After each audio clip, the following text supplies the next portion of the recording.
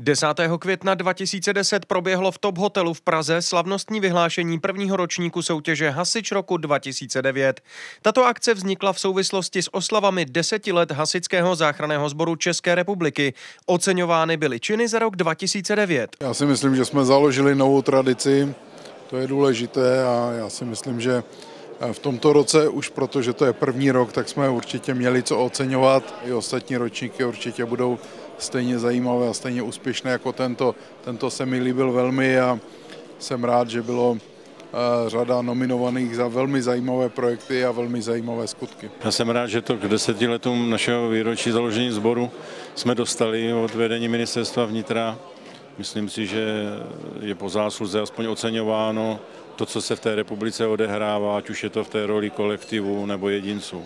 Hodnocení a oceňování probíhalo v sedmi kategoriích. Občanský zaměstnanec roku, projekt roku, kolektiv roku, velitel roku, zásah roku, hasič roku a speciální kategorii, která je obdobou síně slávy, galerii osobností hasičského záchranného sboru České republiky. Do té vstoupila žijící hasičská legenda. Jsem moc rád, že se mi teď ctí dostalo jako prvnímu to zavazuje, zavazuje, pokud budu živ, tak budu pracovat pro požární ochranu dále, jak mi to síly dovolí.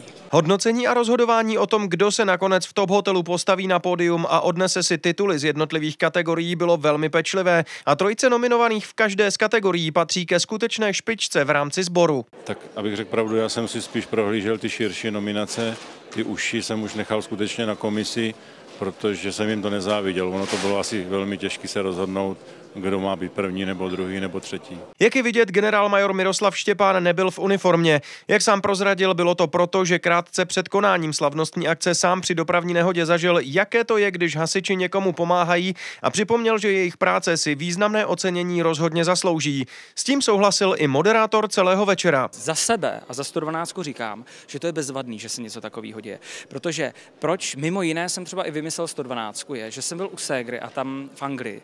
A tam malý hasič, mý dva synovci, jeden se jmenuje taky Mirek, ti si hrají na hasiče, ale jako na VIP, tam je prostě zpěvák, a hudebník a vedle to herec třeba a vedle je hasič. Tam jsou to opravdu eh, v dětských očích VIP osobnosti. A já bych si moc přál, aby to bylo i tady, aby to nebylo jenom v dětských očích. A myslím si, že takovýhle večery a třeba i ta naše 112 je tady hlavně od toho, aby udělala, a teď to budu říkat úplně hrozně, PR, dobrý PR hasičům. To si myslím, že hasiči hrozně potřebují, protože to jsou úplně stejný hrdinové jako z těch amerických vymyšlených filmů. Akorát o nich prostě nikdo neví. Nejvýznamnější a nejdůležitější titul, tedy hasič roku 2009, si odnesl podporučík Petr Carbol z hasičského záchranného sboru Moravskosleského kraje, a to za pohotovou záchranu tonoucích.